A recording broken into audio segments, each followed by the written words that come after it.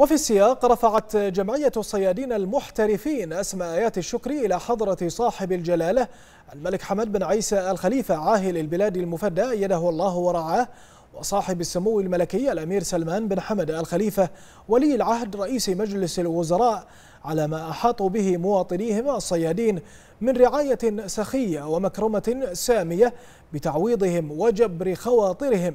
لما مسهم من أضرار ناتجة عن انتهاكات وممارسات السلطات القطرية الرعناء والفجة تجاههم وتجاه أرزاقهم. وأعربت عن تقديرها لكل الجهود المبذولة من قبل حضرة صاحب الجلالة الملك المفدى وسمو ولي العهد رئيس مجلس الوزراء لحلحلة قضايا الصيادين ومشكلاتهم وتعزيز سبل التعاون والعمل بمبادئ الشراكة المجتمعية. كما أعربت جمعية الصيادين المحترفين عن إدانتها الشديدة واستنكارها البالغ للممارسات الاستفزازية من قبل السلطات القطرية تجاه مملكة البحرين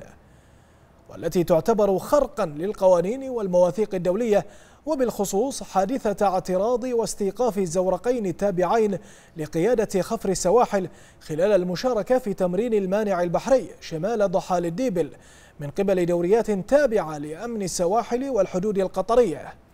كما أدانوا طريقة التعامل مع الصيادين البحرينيين غير المتسقة مع القوانين والأعراف والأسس الحقوقية المتمثلة في احتجاز قواربهم لفترات طويلة واستهدافها في المياه الإقليمية البحرينية بسحبها إلى داخل المياه الإقليمية القطرية تحت تهديد السلاح واستخدامه ما أدى إلى وفاة شخص وجرح آخرين. ومن ثم تبليغ السلطات القطرية بوجود القوارب والبوانيش البحرينية داخل المياه الإقليمية القطرية